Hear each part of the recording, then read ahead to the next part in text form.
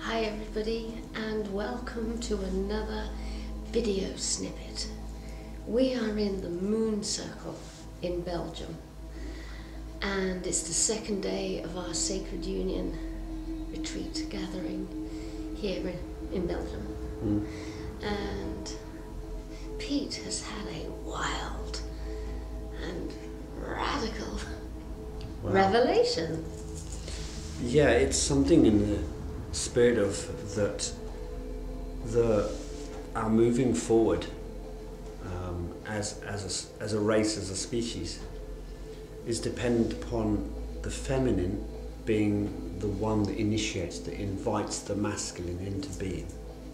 It comes from despite everything that the feminine has suffered and been through throughout the centuries, that her ability to, to rise and open as her authentic self, and from that place, invite the man or invite the masculine into rising together to her, together with her, into his own essence of being, as the, the pole opposite or opposite to her.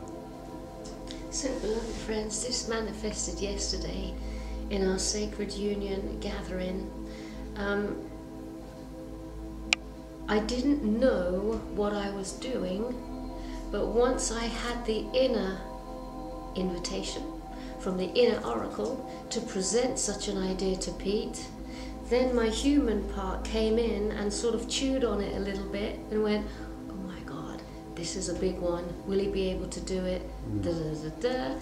But not too much time was spent with that before the invitation for him actually was spoken. So before I explain what that was, I just want to say to the ladies that you have to have faith, complete beautiful faith in yourself, Mm. and the deep reason why you're inviting him to embody such a thing, and profound, glorious, secret, smiling faith in him, knowing that it is reachable. He will be able to do Mm. this. And not to go with that sense of doubt whatsoever, but to just go with glory, see him being glorious, victorious, and my favourite word today, triumphant. Mm. So maybe you explain how it actually came to pass yesterday, With, with the hugger. Oh yeah. Um, we were. It, the situation had been that the ladies had fo- had uh, formed a circle around the men, and were giving their feminine essence to the men, so the men had no chance of mistaking uh, that that part of uh, of being. And then it was the men's turn, and we were, I we were looking for a demonstration how a man can be in fully present as a man with the, the power that that involves but without being overtly aggressive towards anyone and especially the feminine and um, the only thing we could come up with is the, the Maori New Zealand uh, haka which is um, so famous from uh, the All Blacks rugby team in their pre-match taunting of the opposition um, beautiful demonstration of the masculine and also demonstrates the missing rites and rituals of, of um, awakening from boy to man that's uh, so so much missing in the Western world. And I got a bit carried away. I've actually got bruises on both legs today from slapping hard and this kind of routine. But it was so empowering. Mm. And it was absolutely delightful to to to witness. I know because of Pete's uh, military days, there has been a part of him that's reluctant to go into that demonstration of masculine authority and leadership again. Bless his heart. And so when I when the inner oracle said "M- Maori energy, we want Maori energy. I was like, ooh. So the doubting Thomas in me went, ooh, he might not be able to go there because um, he doesn't want to demonstrate that part of him anymore. So that was doubting Thomas. But then in come radiant golden light that says he can do this perfectly. Hmm. And not only is he going to do it for the group of men that are here, he's going to do it for himself. He can do this. Hmm. And so Well, there was the it was invitation. offered in that spirit. He can do this. Hmm.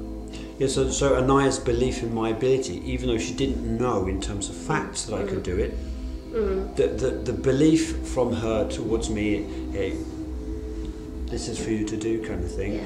was more than enough for me to step up. Um, because I very much feel that it is the belief of the feminine towards the masculine that he can actually get there is the saving grace, is the only true hope for a rebalance here on earth. It's that strong and that important. And what was so gorgeous was that he actually surpassed what I, what who I thought he was. Yeah. And uh, I was just stood there, radiantly beaming at him, because here he is. Here is that beautiful Pete Wilson, in, not not not accessing, but fully in that glorious demonstration of tremendous male strength and hmm. leadership, hmm. and being really clean with that. Hmm. So again, the old love quota. Mm-hmm.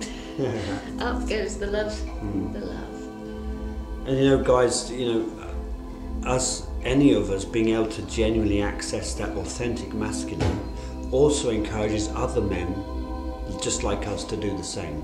You know, I was having to bring on the energy. We were four men, and I had to really reach deep so that I could, you know, not just access the energy for myself and for the ladies, but to encourage the other guys to uh, to get in there as well. So the the knock-on effect, you know, com- the invitation coming from the feminine, encouraging specific men, and they stepping up, encouraging more men into a place of change, and how that will affect, for example, the uh, father and son relationships. That's just potentially amazing. How fa- for once. Uh, young boys and young men can see their fathers in a, in a light that they can go, I want to be like that. That's the power I want to have in my life. That would be amazing.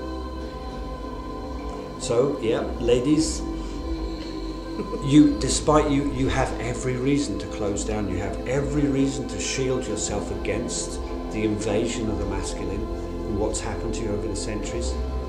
But the invitation from from the universe is, despite all that, reach to your goddessness and choose. And it is a choice. Choose, despite all that, to stay open and invite the masculine in, whether it's in the form of a man or ladies, if it's if it's in the form of your own masculine, your own inner feminine, opening the space for your masculine to take its rightful place.